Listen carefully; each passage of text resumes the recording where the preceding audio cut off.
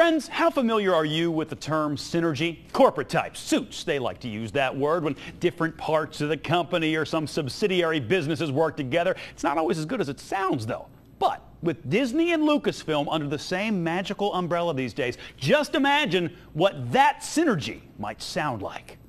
Do you want to kill some rebels? Let's take our fleet and blast them all. I think that death and mayhem's overdue. I've started talking to the droids around the hall. It gets a- Part Star Wars, part Frozen, all perfect parody from the uh. YouTube page of Randy Turnbow comes this. Not Anna asking Elsa to build a snowman, but rather a TIE fighter pilot asking Darth Vader to kill some rebels.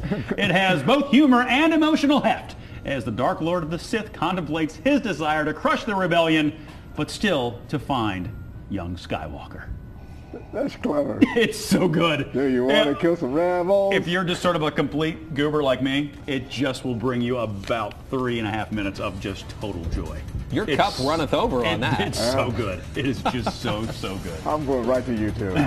uh, me